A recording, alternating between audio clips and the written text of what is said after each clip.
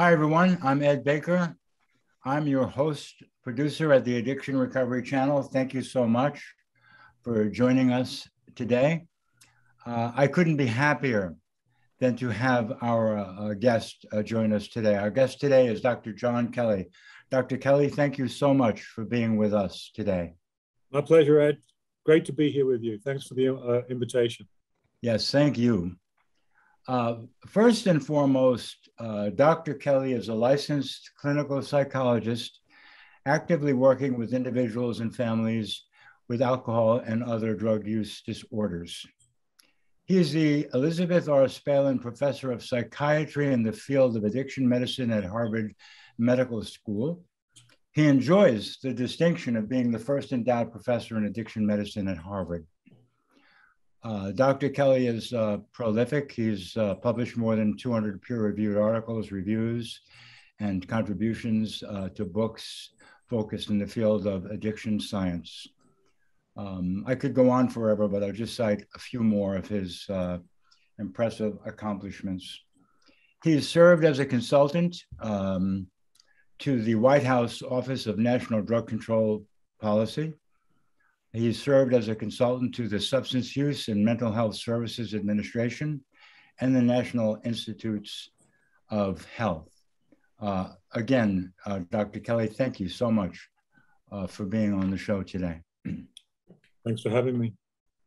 You know, we were chatting a little bit before we went on on air, and I was telling you that um, my my my my introduction to you, my my my my familiarity with your work basically revolves around your research into stigma uh, and language. And uh, and I would like I would like to begin there. I'd like you perhaps to um, review your work or summarize your work. I think our audience would benefit greatly from hearing uh, about your work from you. Mm-hmm. sure Ed. Thank you. Yeah. You know this is a, a topic of course that whenever we're talking about addiction and substance use disorders, we are talking also about stigma and discrimination because those, unfortunately, uh, go together. Um, and there are many reasons for that. I can talk about uh, some of those reasons why that is the case. Um, um, but uh, I became interested, particularly, I wasn't necessarily interested in stigma per se as a as a uh, you know scientific pursuit in studying stigma when I got into the field. I was more interested in, you know, helping people with addiction and, and the families and studying things like treatment and, and recovery support services and mechanisms of behavior change through which people recover. Um, but I got into this area around about the early 2000s where this term abuse in particular began to concern me and I began to think, well, you know, if you call someone a, an abuser, it's kind of like like a child abuser. Mm. Um, you're kind of implying that they're kind of engaging in willful misconduct. And I wonder what the implications of that are. You know, in in in DSM-4, some of viewers may remember DSM-4 or know about DSM-4 and the prior iterations of our diagnostic and statistical manual of mental disorders, which included the term abuse, because there were two categories um, of, of, a, of a substance problem, if you will.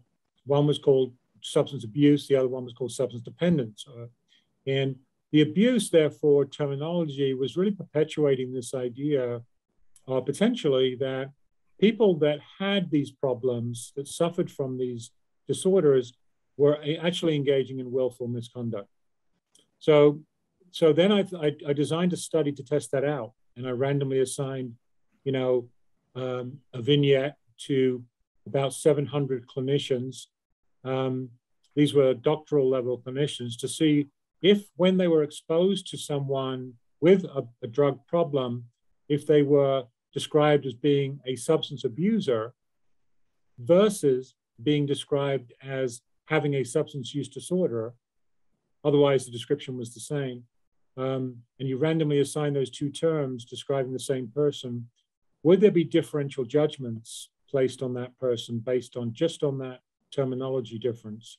And in fact, we found, yes, there were, even among highly trained professionals, um, they were systematically biased by exposure to that abuse terminology. So that opened my eyes, and I think many other people's eyes. This was back in 2010. We published that.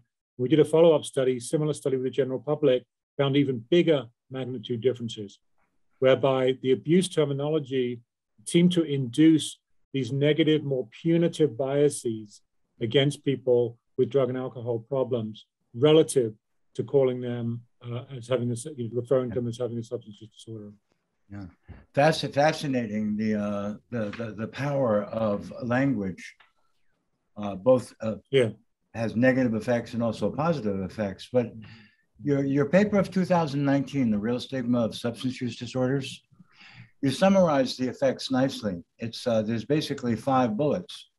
The person described as a substance abuser was perceived as less likely to benefit from treatment and more likely to benefit from punishment. How much more clear can it be? Mm-hmm. The person uh, described as a substance abuser was perceived as more likely to be socially threatening. Mm-hmm. These are these are your findings, and they're profound. Mm-hmm. The person uh, perceived as a substance abuser was found to be more likely to be blamed for the symptoms associated with their disorder mm-hmm. and more likely to be perceived as being in control. In other words, well, you know, I can just stop doing this whenever I feel like it. So that element of, of choice enters into the picture. Uh, can you elaborate on that a little bit? The, the importance of this element of people being perceived as willfully engaging in the behaviors associated with addiction. Yeah. Yeah, and, and this kind of pertains to why it is that substance use disorders are so stigmatized, as I began to talk about right at the beginning of this show today. Um, and I think it has to do these two two factors: cause and controllability. Mm, mm. And um, and this pertains to choice because sometimes people, and I think you know, even relative to other psychiatric illnesses, substance use disorder is more stigmatized because people view it as people taking something outside of themselves, taking it into their body that involves an initial choice uh, to do that. Uh, and so you can see why then people will say, well, they're just engaging in selfish, willful misconduct at the expense of other people. Now, the, the thing is, with cause and controllability, we know now from 50 years of studies on the etiology of addiction over the last 50 years. We've learned a ton about genetics and the genetic contribution to addiction. We know now, for example, that roughly half the risk of addiction is conferred by genetics. Um, and this pertains to cause, one of the dimensions that underlie stigma. Mm. Because if we say to, if we say about a condition that, that somebody has, that's stigmatized, that you know it's not their fault and they can't help it, stigma tends to go down. If we say it is their fault and really they can help it, then stigma tends to go up. And so we know with gen- the genetic contribution that just like other complex illnesses to which we may be susceptible, addiction is no different in that we have a genetic, some of us have a genetic predisposition which places us at higher elevated risk for contracting uh, the disorder of uh, addiction. Mm. And that manifests in different metabolism and different reward uh, salience on, on initial exposure. Take a drug like alcohol. 90% roughly of the population is exposed to alcohol, but only about 20% of people in their lifetime will mm. encounter a problem with alcohol. Mm. Um, now, that's just by virtue. Some of us are protected, some of us are more vulnerable by virtue of our genetics. Mm. Related to controllability. So, in other words, you know, we don't know, people don't know they're getting into that high risk area because they don't know they're different from other people when they're exposed to the drug initially. Mm. Whether that be illicit drug like alcohol or an illicit drug like opioids or heroin. Uh, people don't know that they're, they're experiencing a more profound effect from the, this exposure, but they do know that they like it and they want to repeat it. Mm. But they don't realize that they're different. They don't realize, nobody, as they say, ever plans on becoming addicted that is something that you know nobody ever in a million years thinks it's going to happen to them. Yeah. yeah. Um, the other thing um, is this issue which you began to talk about, Ed, um, is the controllability aspect, the choice aspect. And this is another dimension, the second dimension that pertains to, to stigma, because this issue of controllability uh, implies, and again, this is where the abuser term, I think, has more relevance, is that people are choosing to, to engage in it. Therefore, they can turn it on and turn it off. It's not a compulsion. It's not something that's beyond their control. They're just engaging in selfish behavior. Um, and we know now, again, from the last 30 years of neuroscience, that the neurocircuits in the brain are radically affected functionally and structurally. Let me show you an image. If yes, I can. thank you. Thank you. Um, just share the screen here for a second. And hopefully you can all see this. Um, but, you know, one of the wonderful things that we've learned, thanks to the National Institute on Drug Abuse and the National Institute of Alcohol Abuse and Alcoholism, part of the National Institutes of Health in the United States, through the funded research that's emanated from these institutes in the last 30 years, we understand now these neurocircuits, which are implicated in addiction, which pertain to the subcortical areas of reward and memory, right around here, these subcortical deep areas in the brain, which are older areas of the brain, and reward, motivation, uh, impulse control, and judgment up here in the prefrontal cortex, which are associated with decision making and inhibitory control, regulating the impulse to engage in a certain behavior. Now, what happens in addiction is that the, all these circuits, um, which are strongly related to reward and reinforcement, are impaired. They're impaired, they become increasingly impaired over time, not just functionally, but also structurally. And you can see on the bottom right here, here's someone with alcohol addiction. And if you compare that to the brain on the left, someone who's a moderate drinker, you can see a radical difference in not just the function, but the structure of the brain is radically different. It has this ventricular enlargement and the cortical shrinkage associated, typically associated with alcohol exposure. Now, this produces toxic effects in the brain. It kills brain cells. It also structurally changes the brain um, in radical ways. Now, the good news is, here's the good news. The bad news is, is, is what you can see on the screen. The good news is, is that a lot of that uh, damage to the brain can be repaired. Mother Nature can do a job. When people abstain and get into recovery, there's a lot of brain recovery um, mm-hmm. as well. And the brain, Mother Nature can, can do her work to bring the, bang, the brain back to life. Now, it might not be the same level of um, speed of processing that was there before, um, so instead of you know using the I-95 to get from A to B, you might have to use the side roads. Mm-hmm. Um, but Mother Nature mm-hmm. does her job in helping us all get there uh, when we get into recovery. So the brain does change and does um, uh, recalibrate and repair itself in different ways. But you can see uh, quite clearly, and this has been one of the advantages um, of the latest science the last 30 years, that we understand now much more about this impaired control and we understand it now in the neurocircuitry and that can identify that. That is why this is a psychiatric illness. If that was not the case, if it was just a matter of choice, people are just choosing to do it, then punishment would work. Mm-hmm. Punishment would work to change behavior, and people would ex- elicit control over the behavior and and, and uh, kind of get on get on the wagon, as it were. Um, but we know that punishment does not work uh, to treat these conditions, whereas treatment does. Well, th- thank you. Uh, thank you. And thank you for that clear explanation of what happens in the human brain when it's been exposed to toxic chemicals over a period of time. You know, uh, people people have um, I think it's difficult for people to understand a choice because people who develop addiction do choose to self-administer drugs but they don't choose to self administer drugs with the intent of becoming addicted. They choose to self administer drugs for many, many reasons. It could be self esteem, it could be um, depression, it could be anxiety, it could be post traumatic stress, it could be to fit in, it could be because of availability or social determinants, you know, poverty and isolation. It could be any one of a number of reasons. There are lots of reasons for choosing to self administer drugs. But what happens over the course of the process is under the surface, the brain is being affected, and people are unaware of that.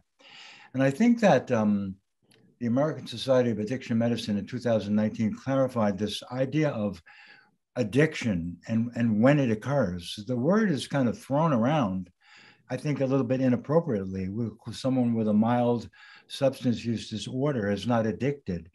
Um, the ASAM clarified that a little bit. I think they located it around the end of moderate, beginning of severe substance use disorder. So by that time, the brain, as you so eloquently portrayed, has adapted to the presence of drugs, operates with the presence of drugs, and it can operate without the presence of drugs. That's addiction proper, where, as you have said, there is no choice then. It's simply a, a, an incentive salience or a very powerful drive. Is that correct, Doctor? Mm-hmm. Yeah. Yeah, I would say that, you know, in, in maybe very rare instances, there is no choice, very mm-hmm. rarely. Now, mm-hmm. what there is, is radically impaired decision making and inhibitory control. It doesn't mean that they can never make the decision to not use the drug and follow through with it. Mm-hmm. Oftentimes they can, but they cannot do it consistently or for very long. So they can't hold on for very long without extra support and help. Um, so I would describe it as it's not impossible, but it's extremely difficult, extremely difficult um, for people to not use when the locomotive is like a locomotive of, of, of uh, energy that is pushing all the time um, in that direction towards drug use. So the tr- people are trying to put the brakes on to slow down that locomotive. But because the way the brain works, and you, you said it, you know, the neuroadaptations and the automation that the brain does with powerful reinforcers. And again, this is genetically modulated. Don't forget, it's not just a function of neuroadaptation and neurotoxicity, but for certain people, there's a much deeper level whereby they are much more susceptible at the same level of, of exposure than somebody who does not have that genetic uh, predisposition. Um, so there's all these forces um, kind of converging. Then if you add to that, as you pointed out, Ed, other kinds of developmental environmental stresses, mm. including early exposure to the mm. drugs during teenage years. Mm-hmm. These all amplify the risk. Um, and so if you come from an impoverished environment, if you suffer abuse as a child or neglect as a child, um, uh, that affects your brain neurocircuitry and brain chemistry, uh, which sets people up um, for that more positive relief that they get on exposure to these substances than other people do who have a more enriched environment. They don't experience that level of reward. Yes, thank you, Dr. Kelly. And, and with that in mind, it, it couldn't be any more clear how, how important supports are for people with substance use disorder. Recovery supports, environmental supports, financial supports, transportation, housing, education, the mm-hmm. kinds of supports that, that people need to establish safety while, while the brain heals. You mm-hmm. I think you've alluded to that. It's a healing process and it takes time.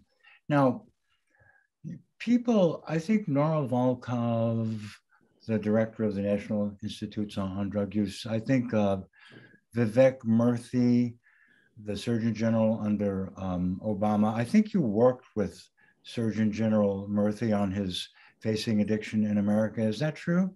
Yes. Yeah, uh, pe- people, noted people, and yourself included, are, are, are speaking out about the way that stigma will militate against the development of effective supports. Mm-hmm. Now, I know you've been, I think you were instrumental in the Office of National Drug Control Policy Summit in 2013, where the Obama administration decided to end the inherited war on drugs and begin a public education campaign around addiction as a disease. So, I mean, you've, you've been so instrumental in so many ways. How, how do you see the priorities moving forward? How do we get to the, and believe me, Vermont, where I am, is a great example. We've done wonders in Vermont. We have recovery centers all over the place, recovery coaches, low excess buprenorphine, harm reduction. I mean, we're we're we're we're, we're moving forward here. But but but Vermont, I think, is a little bit of an exception. How do you how do you see priorities moving forward? How do we push this forward? Well, it takes will and and um, and you know kind of insight uh, into the nature um, of these problems and what works and what doesn't, and a willingness to admit when we've made wrong turns. Hmm. Um, and now, nationally, as you pointed out, that was done, formally done back in 2013 on December 9th. I was very fortunate to be there at that White House summit.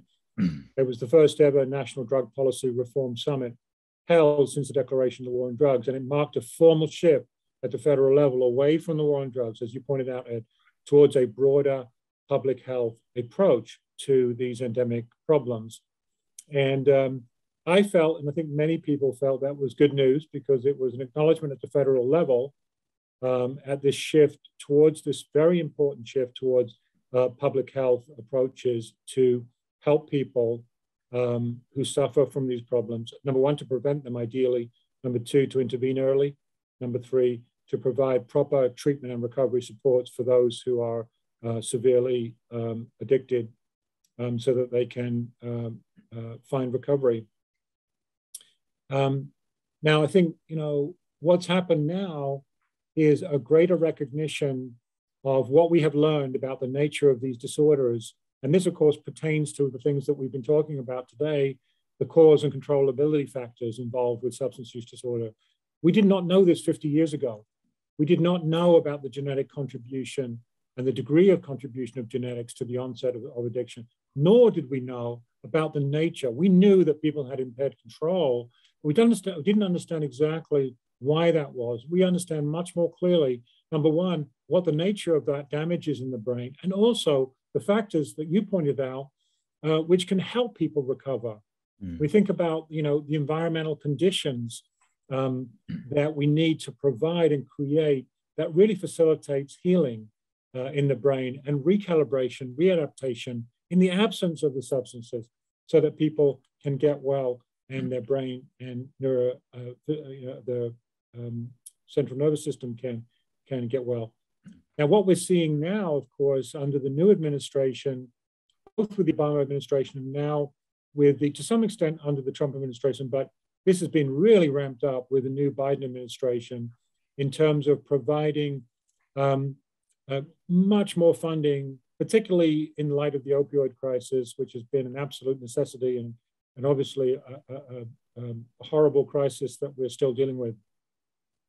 Um, but the appropriation of funding, you know, has been fantastic in the sense that, you know, billions and billions of dollars now have been dedicated to providing access to, to harm reduction services, to buprenorphine, to Narcan, uh, to uh, needle exchanges, to other kinds of harm reduction so that we can keep people alive long enough that we can help them into remission and recovery and a better quality of life.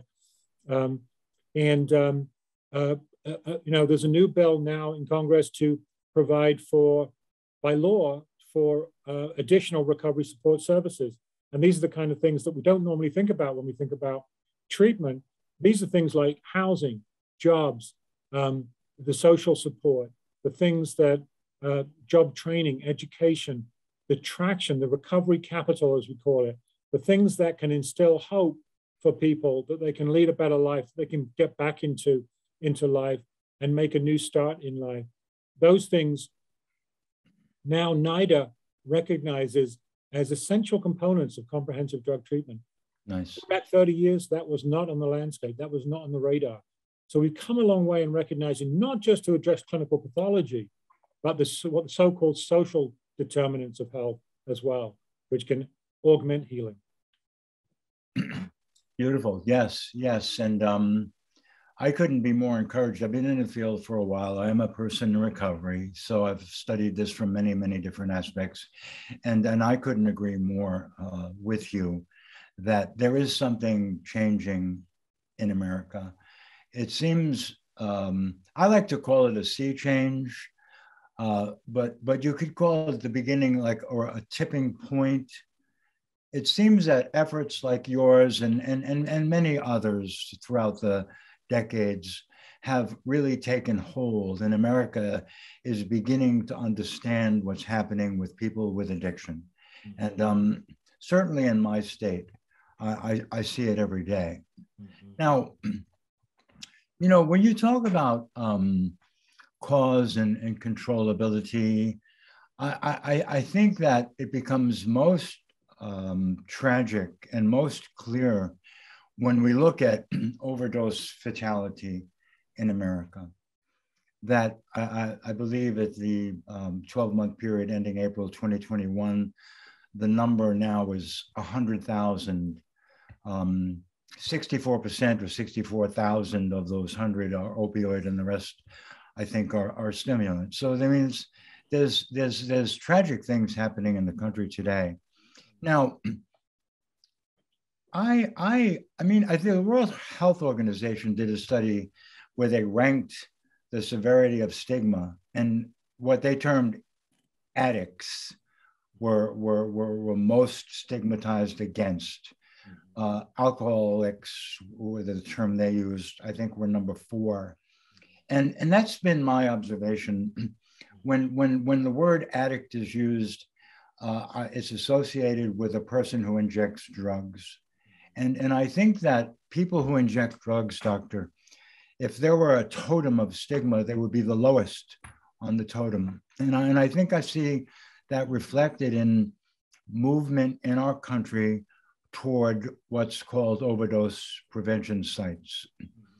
The New York Times uh, today, this morning, New York Times uh, has an article. There have been two overdose prevention sites open now in, in uh, New York, one in East Harlem, one in Washington Heights. Um, there are uh, two, I think, pilot programs slated to begin in Rhode Island in March of 2022. So there's a big, there's now there's a real beginning in America. But I'd like your opinion on that.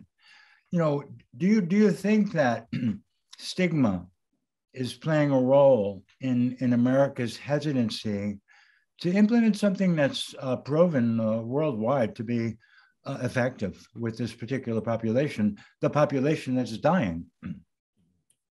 Absolutely, you know, it, it it's stigma, and and what what what what I think the stigma does is that it prevents a proper analysis of the data, and and and and what these things can do for people who suffer from these disorders and conditions. Um, so it prevents people, the stigma and discrimination, it means people look the other way. They don't even take a look at the data and why these things are effective and why they're helpful for people. Um, so I think that's the effective stigma, is that it leads, you know, policymakers away from um, looking at how these can help. Because at first glance, just the same with needle exchanges, um, people thought, well, that's just going to increase um, um, uh, uh, drug use. It's going to attract people to drug use if you provide needle exchanges or reduce harm. Uh, you'll increase young people's involvement with drugs if you decrease uh, harm or have a safe place where people can go and inject drugs and prevent overdose. Um, in fact, the opposite is true. Um, uh, so it's um, it, it's contrary to what one might think off the bat without taking uh, stock of the nature of these problems and how these things can help. That's where stigma, I think, uh, uh, blocks people.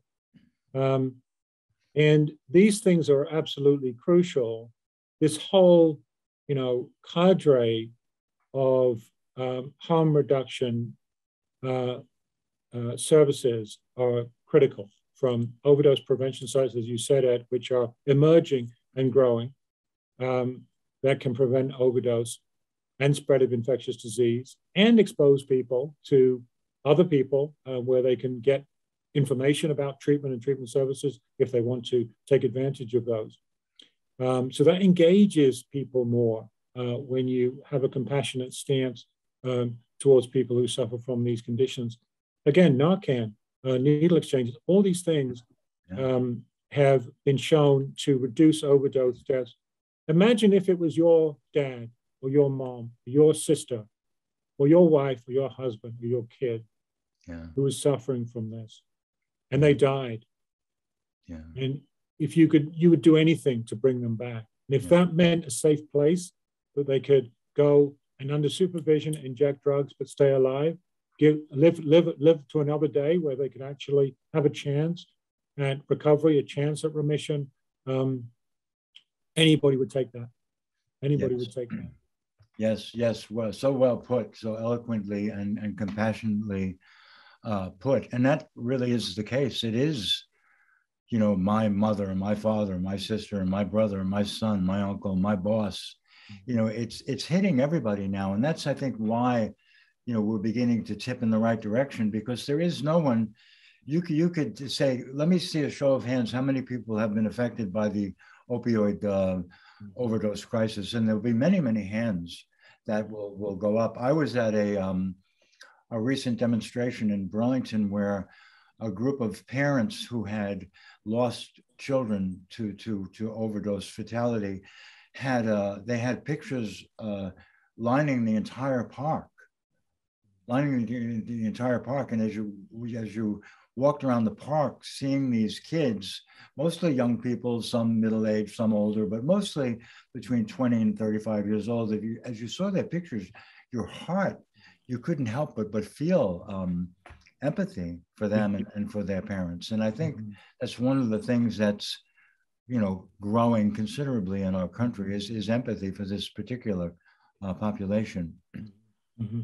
I, I, think that's right, and you know, sadly, that's that's the case that so many families have, uh, have been touched by the crisis, and not just the opioid crisis, but the alcohol crisis, mm-hmm. which of mm-hmm. course is all has been with us and remains with us, and which is also, as you pointed out, heavily stigmatized and um, underreported. Now, we have reports of 100,000 deaths per year from alcohol, but it's more like actually 600,000. Wow.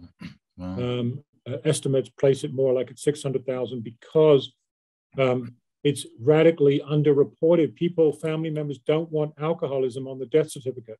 Yeah. Yeah. And uh, often, and I've seen this done myself, uh, where the clear cause of death has been alcohol addiction, but uh, nobody wants to put that on the anywhere on the record, yeah. and so it's not documented. And again, it's because of stigma and fear of discrimination. That, that's one of the things that's really changed in Vermont. We've had a number of families, three or four families, that have publicized their children's death being a result of a drug overdose. Mm-hmm. And it's really caused you know, so much of a, an enlivened support to uh, become uh, a, you know, present in the community. We have entire communities rallying around these families. But let's take alcohol. Uh, let's switch gears here. And thank you so much for your views on, on um, overdose prevention sites. It's controversial, and I was I was looking forward to hearing you know you know what where your present thinking was. So thank you, Doctor. I want to move now. Um, I want to take a look at the Cochrane study. I'm going to, I'll read you uh, your quote from an interview in Alcoholics Anonymous, uh, box 459, the, the AA uh, periodical. This is from the fall edition. you say, quote, what our research shows is that when you subject AA to the same scientific standards as any other type of intervention, it is at least as good as, or often better, and certainly cheaper than anything else. When you're talking about a disease that kills 3.3 million people around the world, this is something you have to pay attention to. So let's talk about that a little bit. Let's talk about this study. What did you find? I think it's fascinating. Yeah, well, this was this was what, what's called, a, you know, is a systematic review of all of the science, the rigorous science conducted on Alcoholics Anonymous and 12 step, so called 12 step treatment or 12 step facilitation treatments, which are clinically delivered treatments which link patients who have a severe alcohol use disorder with AA. So they're kind of a strategy, a clinical linkage strategy, or some kind of psychotherapy that is 12 step based that links patients to these free, ubiquitous indigenous community resources. And what we found when we looked at all the most rigorous uh, studies that have been done in the last 35 years, um, there were 27 of them that were included, 27, these were mostly randomized studies.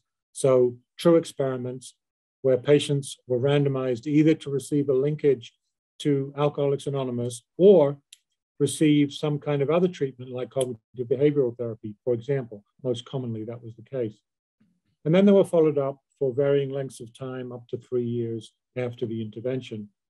And as you alluded to, what we found, which was quite surprising, was that a simple linkage to AA produced as good in most instances, or better when it came to long term remission, uh, better rates of recovery for those patients who were randomly assigned to the 12 step condition and the linkage to AA at a reduced healthcare cost of about $10,000 per patient per year. So that's good news when we think about a very high volume, high burden disease like alcohol addiction, alcohol use disorder, that we can link to this free, ubiquitous community support service, in this case, Alcoholics Anonymous, and produce as good or better outcomes at a lower cost. That's what we're looking for all across healthcare. And um, that's what we found in that study. That's that's just that's just beautiful. And um, I, I, I would like to help to, to publicize that. That's why I'm bringing it up on the show. And I'm so happy that I have you here to, to elaborate a little on it. You know, I'd like you to, to let's dig into that a little bit because, you know, in, in, in, in, in my view, as an observer, um, if there's any place in the world that is close to stigma free, it's Alcoholics Anonymous. In fact, in Alcoholics Anonymous, part of the AA preamble and the AA tradition is the only requirement for membership is a desire to stop drinking. So not only does the person is the person not stigmatized against for having an alcohol use disorder, but it's required to be a member. Mm-hmm. So there's a value, which is kind of the opposite of a stigma mm-hmm. placed on people with alcohol use disorder. Mm-hmm. Uh, the idea of, of fellowship being paramount, mm-hmm. you know, of unity being paramount. People are there for each other. It just seems to me, um, although they do use you know, they will say alcoholic. They don't say I'm a person with an alcohol use disorder. But but but it seems to me, you know, on on the deepest level where stigma resides, that Alcoholics Anonymous is very close to being stigma free. What are you what are your thoughts on that? Well, it's interesting. I've never heard quite put like that. And it's an interesting take on it. I, I agree with you in the sense that yes, what it does, it provides a destigmatization because when people are suffering from these very stigmatized conditions, when they find themselves in a situation with other people who are in the same boat, they're literally in the same boat, they've suffered the same kinds of problems, then that is immense relief and liberation. That sense of commonality and common suffering, the, what they what Yalom calls um, is a group therapy theorist. He calls universality. Mm. The idea that you've got this universal, um, uh, you know, problem that you've had, and also the installation of hope that you can see other people. You've got visible role models right in front of you, where you can see that recovery is possible, and they can show you how to do it. And there's multiple pathways within AA, of course, to recovery that people have walked. And so there's a variety of different recovery experiences that people can pick up on and follow. And that is immensely liberating.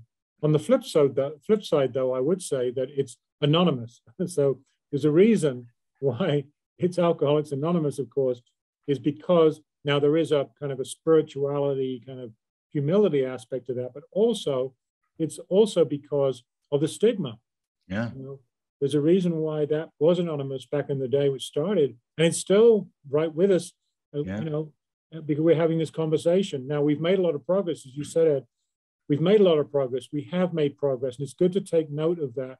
Look to see where we've made progress and then what we need to do to continue to keep our foot on the gas here. But um, there's a reason also why still today there's that need for anonymity and confidentiality, because there is, whether we like it or not, um, there can be negative ramifications um, for having one of these disorders. Now, we are, of course, having this conversation with the aim of trying to change that, um, but that, that is a fact.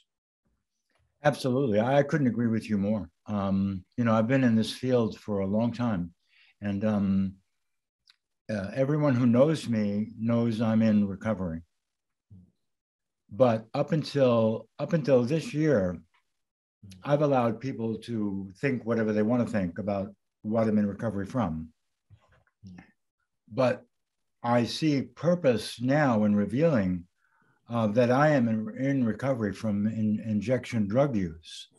And I, I was unaware of it up until very recently. But what has made me reluctant to be explicit about that has been stigma.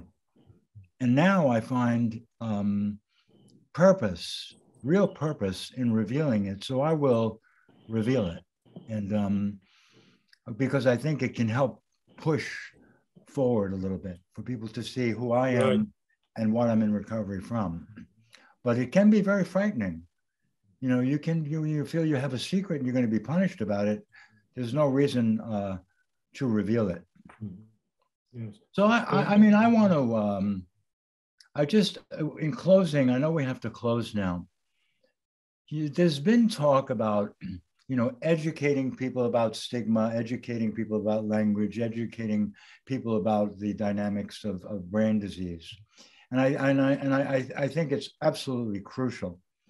But there's been talk of the real test being exposing people to people you know who use drugs exposing people to people who are in recovery from using drugs and having those personal relationships, this is really the way forward, really the way to change the nature of what's happening in America. How do we have uh, faces and voices of recovery? We have uh, like a lot of publicity. What's your feeling about about that? That next step, where where not only do we kind of intellectually understand, but we kind of feel inside a relative comfort with someone who's in recovery or someone who has a substance use disorder. yeah, and you touched on it uh, beautifully. In my mind, you know, the the the stereotypes, and this is right. This is true right across um, prejudice and stereotype research, um, uh, which affects many as- aspects of society, of course. Um, but exposure to people who have the condition disabuses people dismantles those stereotypes that people have. Now, the danger is, um, and this is a known thing in prejudice research, is, is exceptionalism, where people will say, well, Ed, yeah, Ed's in recovery, but he's an exception. Mm. Ed's, a, Ed's, a, Ed's a smart, articulate gentleman. Um, he was once uh, addicted, an IV drug user, but look at him now. But he's an exception. Mm. So you can see the, this is where the, the bias, the, the cognitive uh, stereotype and the bias, people get around it by saying they still they still hold the prejudice because Ed's an exception. Now, here's the difference though. When enough people begin to talk about it, come out and start to talk about it, then you can't, it, it further dismantles the stereotype where people can't just say, well, Ed's an exception. Well, can all these people be exceptions? Mm. Mm. Um, and so more and more people now, and I'm pleased to see at the federal level the support for employing people in the federal government who are in recovery. Yeah. What a yeah. great thing that is. You can see it with Marty Walsh, who's now become the uh, Secretary for Labor, um, a man openly in recovery for many decades. Um, and many people, the Biden administration is actually making a point of um, employing people because they're in recovery almost, because they want to they want to send the message that we value people in recovery, and that people in recovery are valuable people as well. And so that's been, a, I think, a very important and nice step this administration And it's things like that, isn't it, that that can make a difference and help the nation uh, to change their mind.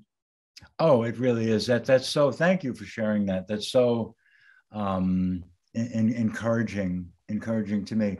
What what a, a what a great uh, time to to be alive, uh, to be in this field. You know, there's so much energy. Uh, we I think we all feel more energized than ever before. People ask me, Ed, you know, when are you going to retire? It's impossible to retire. How could you possibly retire now? It's a long time to retire. well, let me let me just express my, my my heartfelt thanks again, Dr. Kelly. Thank you so much. Oh yeah. Oh well, Ed. No, thank you. Uh, I'm, I'm just delighted to be here. Hopefully, this was helpful. Um, and um, you know, if anybody has any questions or wants further information about or any any of the articles that I've talked about, um, they can always email email me at at, um, at MGH. If you just look up my name, uh, John Kelly, Harvard, you'll find my page, and you can you can find my email there. We'll we'll um we'll we'll make a page and we'll, we'll okay. at the end yeah. of the show for sure. Thank you so much for being available, Doctor. Yeah. Thank you. Sure, Ed. Okay, take care. Okay, bye bye. Yep.